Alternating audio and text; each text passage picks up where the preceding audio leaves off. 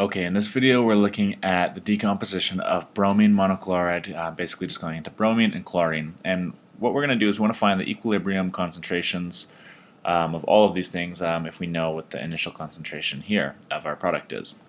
So anyways, in order to first of all to do that we need to write the equilibrium expression, which we can write like this, is K, or equilibrium constant, uh, is going to be equal to the concentrations of the products over the concentrations of the reactants.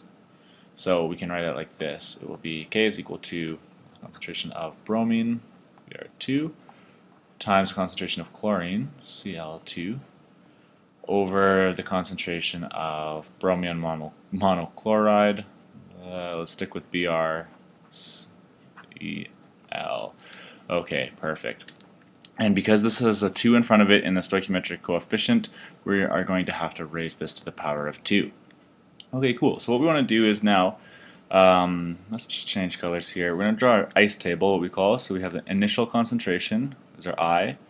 Um, we're going to have our change in concentration, and we're going to have our equilibrium concentration. This is just a really easy way to kind of organize it, and uh, you'll see why right away. So let's say we started with, I don't know, 1.0 moles per liter um, of BRCL. So that means if we started with this uh, just in a chamber or whatever, uh, we're not going to have anything, we're not going to have any bromine, and we're not going to start with any chlorine, right? It's going to start decomposing and eventually it's going to stop when it reaches equilibrium. So now what we can do is we can look at the change. Well, the change in concentration has to do with the stoichiometric coefficients here. So we know that we're going to have to increase these at the same amount, which is going to be half of this amount. So if we increase this, say, by plus some amount x, that means we're going to have to increase this one also by some amount x because they both have a 1 to 1 ratio. Now these have a 1 to 2 ratio with this, so because this is a product, we're actually going to be losing some of this, so we'll have minus 2x, just like that. Alright, we don't know what x is yet, but hopefully we'll find out. So now the equilibrium is just the initial plus the change, so we have basically 1.0 minus 2x.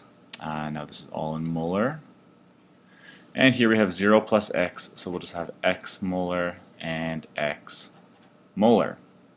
Okay, so now what we can do is we have all of our equilibrium concentrations, even though they're still unknown, but we can plug them into this expression here.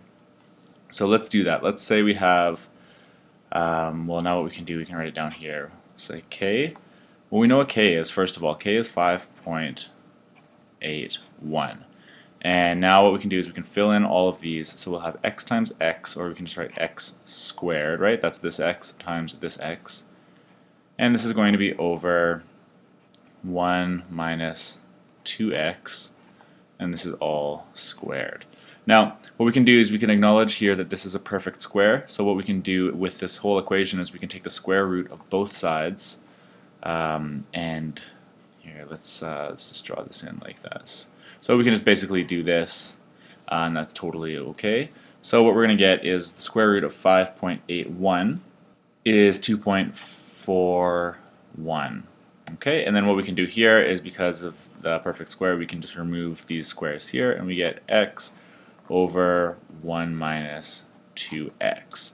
Alright, so now all we have to do is just rearrange, and we want to solve for x. So basically we can go, well, now this is just easy rearranging, so 2.41 times 1 minus 2x is equal to x, and basically what we're going to get here is 2.41 minus 4.82x is equal to x, and keep going, running out of space, uh, we get basically 2.41 is equal to 5.82x, um, let's just continue up here so we don't run out of space.